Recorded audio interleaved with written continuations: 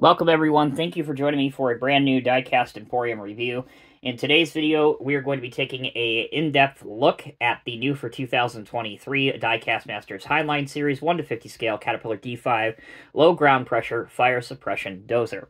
If you're not familiar, this machine is used almost entirely to combat forest fires. It comes outfitted with a rear winch, a VPAT blade, low ground pressure undercarriage and tracks, as well as a forestry ROPS setup.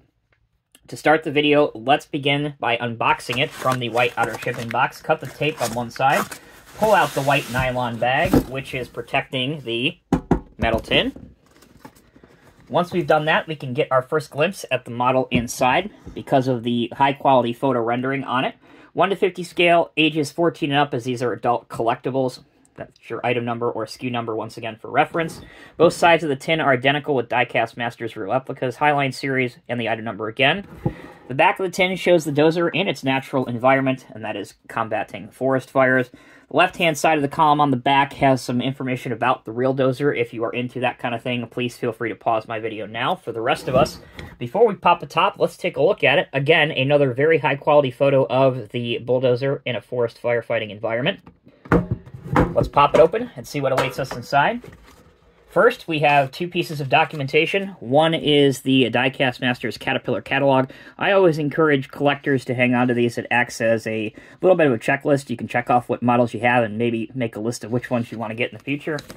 And then the second piece of documentation is just a single-sided instructional sheet showing you how to place the operator in the cabin of the machine. I will go ahead and demonstrate that momentarily. Also found in the top piece of black foam rubber is a black plastic tweezers, which you can use to help put the operator figure in the cab. You don't really need it, but it's a nice inclusion nonetheless. Removing those two accessories, we see two finger holes. Stick your fingers in those finger holes, pull up on the black foam rubber. Finally, we can see the bulldozer in the bottom layer of black foam rubber. Be careful what you grab onto, especially on this model. There are a couple pieces of uh, potentially fragile and breakable pieces that could break with some mishandling. With a little bit of persuasion, the dozer finally pops out. One last bit of unboxing that you need to do is to remove the clear protection around the tracks. Those are there to ensure that the links don't separate during shipping. The only bit of assembly that is required for this model, and it's not even really required, it's totally optional, and that is if you want to put the operator figure inside the cab, you tilt forward the sweeps setup, grab your operator by its head, informing him exactly who's boss, stick him in the seat that he'll probably sit for the next 50 or 60 years, pull the sweeps and ROPS setup back, and lock them into position. Once you're done with that, you're ready to put your dozer to work. Let's begin the details and features portion of this video by taking a look at the very high quality CAT Modern Hex logos that can be found throughout the model. There's one here on the front of the radiator guarding.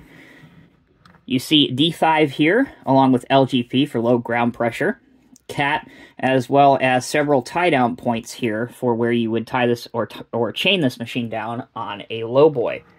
Moving the dozer to the rear, we are greeted with another Cat Modern Hex graphic. On the right-hand side, we find another Cat Modern Hex graphic, D5 LGP, as well as a trio of tie-down location decals. All right, let's take a look at some of the casted-in details now. Again, this is a fire suppression dozer, and it is fully furnished as such. So we do have our fire protective guarding and sweeps. Again, that protects the operator and the machine from falling branches inside of a forest fire environment. We also have the VPAT blade. Now, one thing I would have liked to have seen on this model, which might be a little bit disappointing to other collectors, and that is the visibility perforations, easy for me to say, on the top portion of the blade are not drilled through, which again is very, very disappointing, especially because the pictures on the box indicate that the real machine has these visibility perforations cut through. On the bottom part of the blade, you do see some bolt detailing, which is nice to see. There's also some hoses going from the blade mechanism to the top portion of the engine cover. Again, a nice inclusion. The casted-in details on top of the ROPS, or the sweeps, are very nice, including a hole where the exhaust exits. The back of it, you can see the air conditioning unit. The model features a few opening features, opening panels, such as this engine service bay, the one on the corresponding side, as well as the cab doors that open, and I will touch on that during functionality. To wrap up the details and decals, if we look at the rear of the dozer, you can see a large winch that is supplied, again, utilized for pulling some fallen trees or logs out of the way. A hand shovel accessory is included, the black filler cap lids for your different fluids, a folding down access stair, which is nice to see. And last but not least, if you want to see what the chassis of the machine looks like, there you go. You can see how it is assembled along with the Diecast Masters logo, as well as bolt detailing on each of the tracks. That's the details and decals. Let's transition now to functionality. To begin the features test of this model, you can see that the tracks are linked together and they will roll freely in either direction. Also, if you have a surface that does have a little bit of friction, unlike the white review table, the tracks will roll freely as well.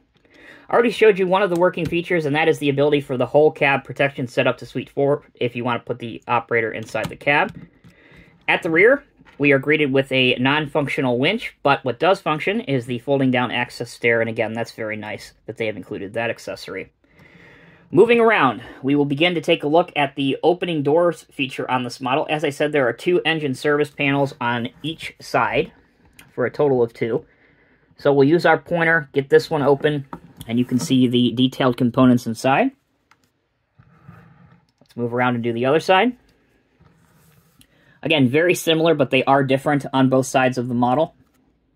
Also, if you want the cab doors to open, open them from the inside. I feel I find that to be the easiest solution. So there you go. That is as wide as they will open. As you can see it facing forward, you can see you get a good degree of angle for the doors. We'll close those back shut.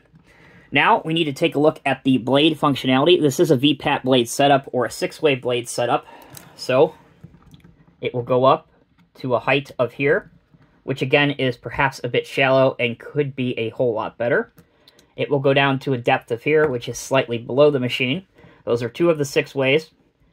It can turn to the left or turn to the right. That's four of the six ways.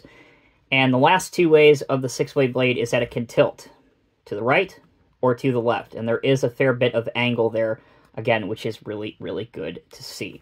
All right, let's see what this machine looks like on a 150th scale lowboy trailer. As you can see, we have the D5 on the Diecast Masters XL120 HDG lowboy trailer, and it does make a pretty convincing load. Because it is a low ground pressure machine, the tracks are extra wide, the blade is wide, so it will hang over both sides, so you really and truly have an honest, oversized load display. That'll bring this Diecast Emporium video to a conclusion. So let's make a summary and overall impression of this model. Overall, I have to highly recommend this. I think this is a fantastic addition to their 150th scale line of Caterpillar equipment. It's really the first time ever through any Caterpillar licensee that we have a 150th scale proper fire suppression dozer. You can put it in a forest fire diorama with the machine making some fire breaks, or you can have it on a lowboy trailer as seen, or even in a Caterpillar dealership. The model is well built and has enough working features for it to justify the price. Overall, I'd have to this, give this model a solid 9 out of 10. Thank you all so much for watching. If you enjoyed this video, please give it a like and comment down below. Make sure you're subscribed to us here on Diecast Emporium so you never miss a single upload. And until next time, take care, be well. I'll see you in the next review.